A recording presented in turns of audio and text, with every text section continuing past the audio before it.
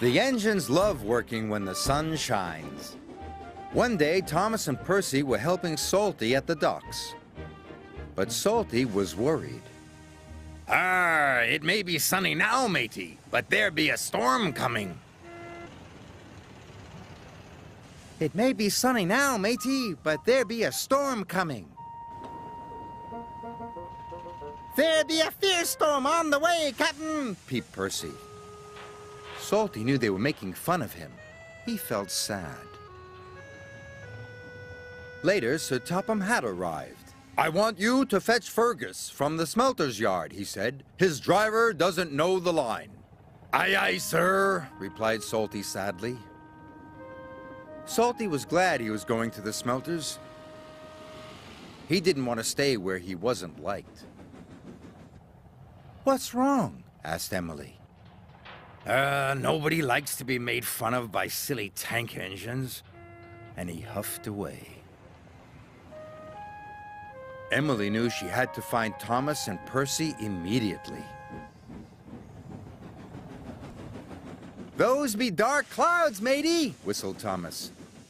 There be a fierce storm on the way, Captain, peeped Percy. Emily was cross.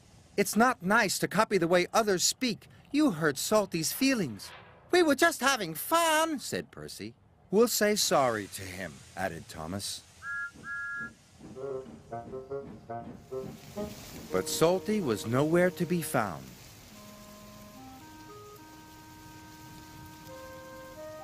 Thomas and Percy were worried. Fergus was waiting for Salty when he arrived at the smelters. Right on time, congratulated Fergus. Aye, but there's a storm coming, said Salty. We must hurry. Soon they were hooked up and on their way home. Salty was right about the storm. It was a fierce one. The ships at sea depend upon the lighthouse to keep them safely off the rocks. But now there was trouble.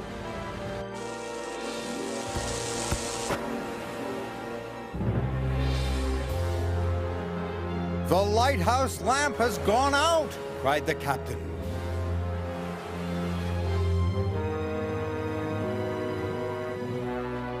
Salty and Fergus were fighting their way through the wind and rain. Then Salty saw a lantern ahead. The lighthouse keeper was waiting for him. Our lighthouse lamp has gone out! Our generator is broken! Salty had an idea.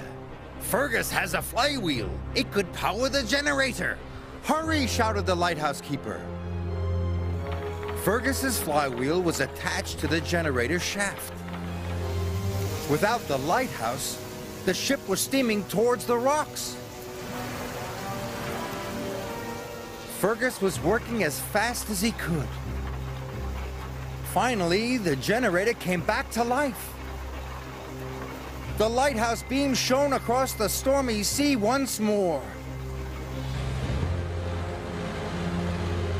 Just in time! Hard to starboard, matey! Salty's idea had saved the day.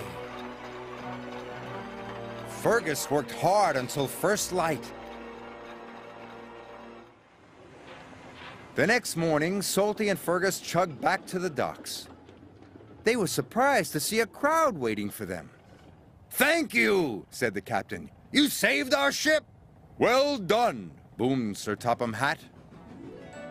Salty was very proud. We're sorry if we hurt your feelings, puffed Thomas.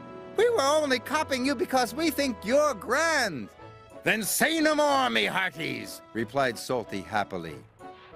Now they will all work together and have fun together as good friends should.